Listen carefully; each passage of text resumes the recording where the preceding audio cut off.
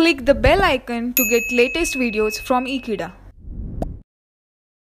Hello friends, in the previous topic we have discussed about the reaction of aniline with sulfuric acid, nitric acid as well as bromine and now we are going to talk about the reaction of aniline with AlCl3.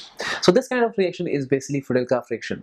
So now let us understand that is why aniline does not undergo through Friedel-Crafts reaction. So now let us understand this topic.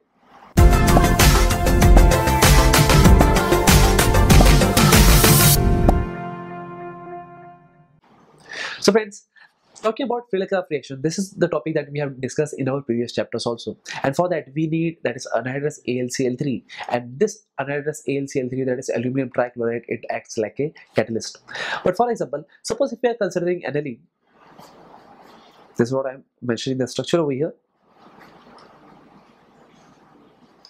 And suppose if we are reacting it with anhydrous AlCl3, we understand that is there is lone pair of electron on nitrogen and thereby basically AlCl3 is a very strong Lewis acid and that's the reason that we could say that is this electron pair this will be attracted towards this AlCl3 and thereby the product that we could get is nothing but a salt formation that will take place over here. So therefore this one will be converted into NH2 AlCl3 so this is a salt formation that would take place while acquiring the positive charge on the nitrogen atom.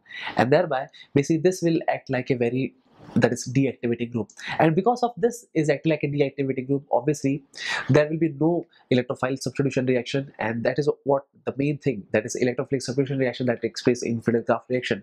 So this doesn't take place. And that's the reason that we can't do Friedel-Crafts alkylation or we can't do Friedel-Crafts acylation whenever we are treating that is aniline with AlCl3 so that is the reason that this aniline doesn't undergoes through Friedel-Crafts reaction. So this was the point that I was talking about.